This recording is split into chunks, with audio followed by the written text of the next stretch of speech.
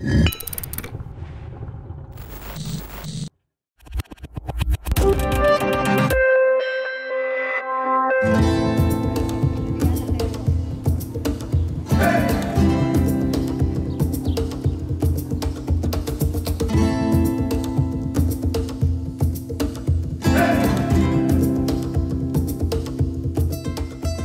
כמה שנים, כל מספר שנים יותר נכון, יש פה מכרז, ואנחנו באי ודאות, בסימן שאלה.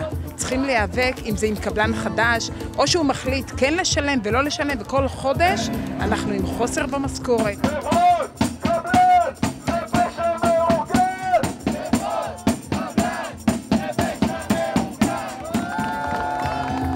זה עבודה קבלנית, הוא מרוויח ואנחנו מפסידים. הניצול גובר, אז אי